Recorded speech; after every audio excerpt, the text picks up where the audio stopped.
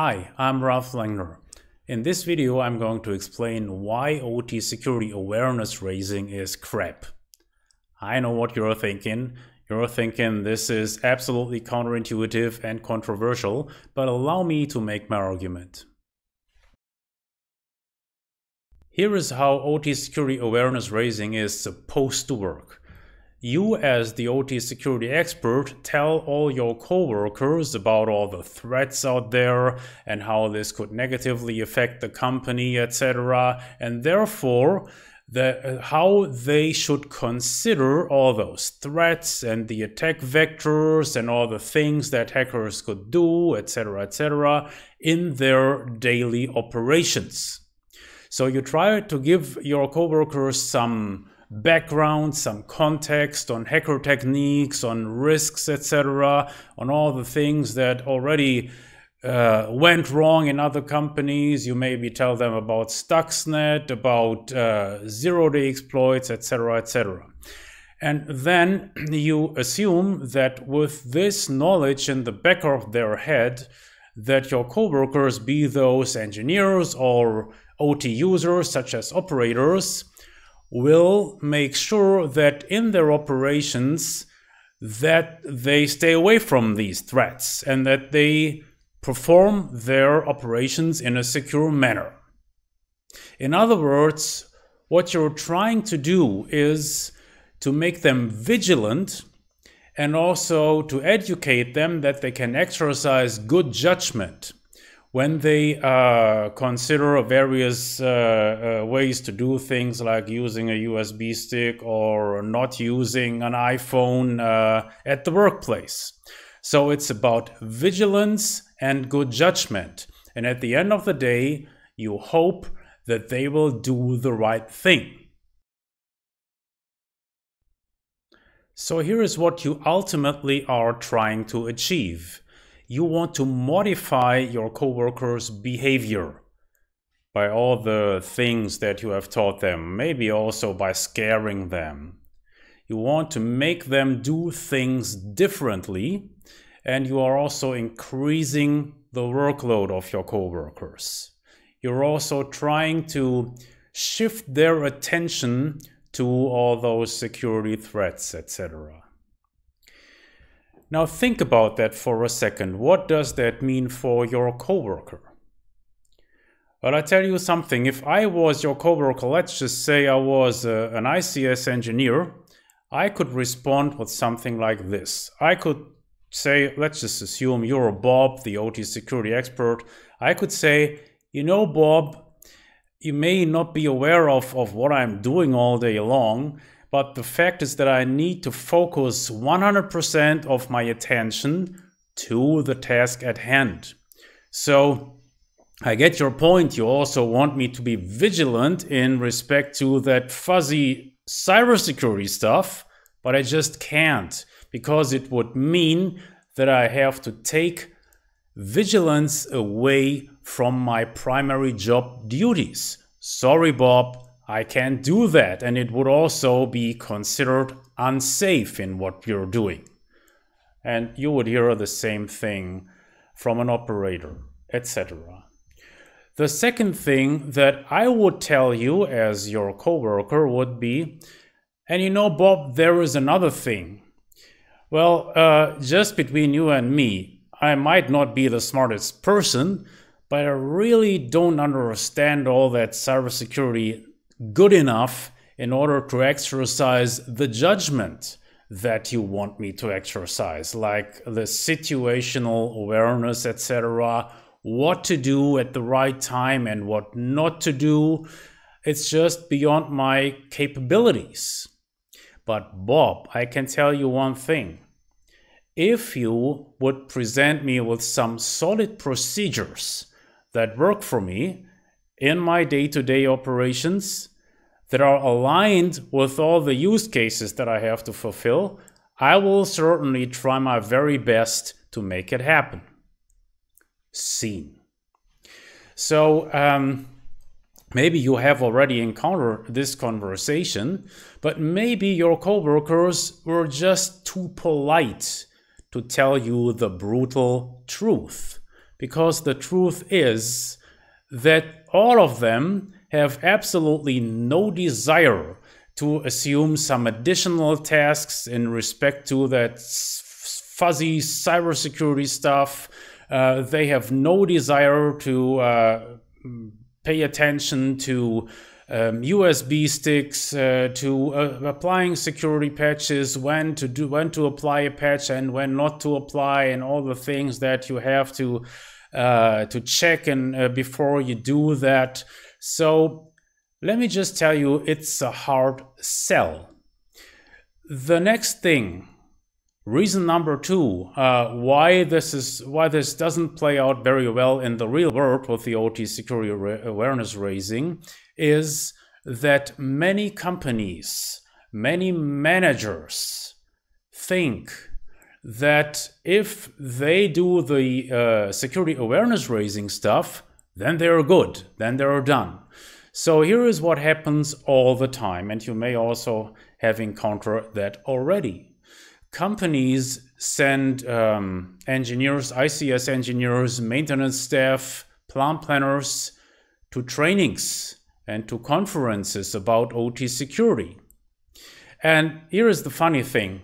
When I did those trainings, and, and I have done a lot of trainings for my customers, uh, I was always considering, okay, now they go to this training, and when they go back home into their factories, then they they they are going to execute all the stuff that they have learned, and they're addressing the problems they will implement a cybersecurity program and so on and so on. And guess what? Usually, in more than 90% of the cases, this just didn't happen because management was under the misconception that they're doing something. They're addressing the problem. They raised all the awareness, and so um, now the uh, the employees are capable of addressing the risk, and that is total nonsense. Now, the third reason why this doesn't work in reality and, and please check um, uh, that in, in respect to your own environment is that you cannot verify the results of OT security awareness raising efforts un unless you um, implement and define some very solid metrics. And this is usually what most asset owners don't do. So here's the thing if all you do is raising awareness and you never follow through in defining some good ways to measure the, the results of execution, you don't measure um, the or the progress that you may or may not have made, then what you're ending up with is now we have a technical term for this in OT security. It's cybersecurity theater. And uh, why is this bad? Because you don't get your money's worth.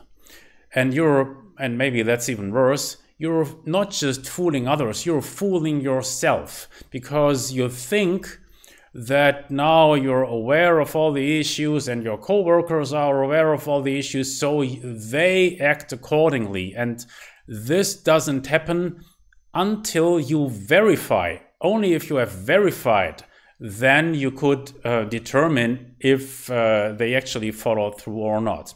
And this brings me back to one of the uh, most important uh, concepts of lean OT security, which is execution and verification. So unless you verify, you might just be doing cybersecurity theater and it might not be worth doing. And this is what we experience with OT security awareness raising efforts all the time, and you shouldn't make that very same mistake. If you look at OT security awareness raising from, let's just say, one mile away, you, you can see the structure of the communication. So the basic idea is that the expert might even be an, uh, a hired expert, an outsourced expert. They tell everybody what they should consider in their day-to-day duties, etc. And then, just by magic, everybody follows through and does all the good things that the expert tells them to do. And that is um, a little bit of a misconception. It, it, it's totally naive to assume that this would work. And only because of one simple truth.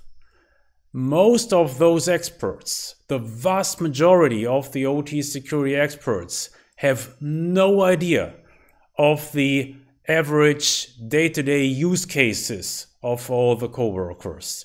They have no idea of what's going on on the plant floor. They have no idea of the daily tasks of an ICS engineer, of a maintenance guy, of an operator. So, how in the world should this OT security be expert be able to educate this, let's just say, operator in a way that would work in reality, in real life. That's just not possible because the OT security experts, in the majority, they lack the real world knowledge. So, if you want to address awareness raising, here is what you should do it should go both ways. And the first thing that you should do is make your OT security guys and gals aware of the use cases and the personalities and the corporate culture of the men and women with the boots on the ground. Because if you do that, you could tell right away that certain procedures that you have in mind will not work in that given environment. You could predict that the majority of your users will find all kinds of creative ways how to circumvent all those measures that, that you have uh, in mind, because otherwise it would just be too cumbersome for them. And if you are a seasoned OT security guy, you will have heard it many, many times, just like myself. Hey, you know what? If I really follow through with, with what you're telling us, we could no longer produce automotive parts, um, chemical products, electricity, you name it. So most likely, if you're long enough in that space, you have heard that, that argument a couple of times. And, and here's the thing.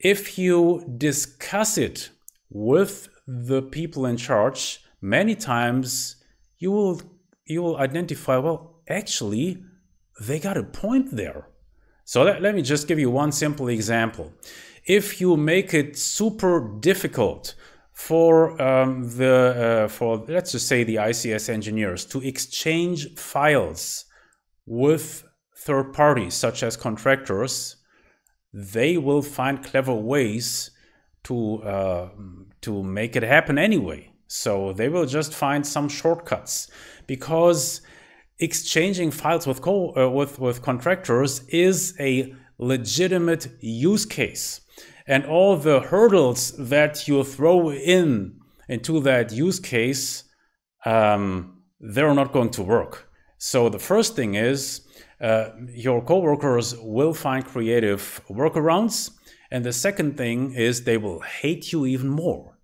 and that is not a good thing and it's absolutely unnecessary. So it's your duty as the OT security expert and as the one responsible to come up with procedures that actually work without introducing a lot of pain. So what we want to do in lean OT security is we want to reduce waste for the user, waste for the ICS engineer, for the operator, etc. And in order to make that happen, you first need to understand the use cases, the mentality, the personality. So you should start with raising awareness for yourself. How do these guys and gals actually work? What are their use cases? And if you have a thorough understanding of those use cases, then you can start defining procedures.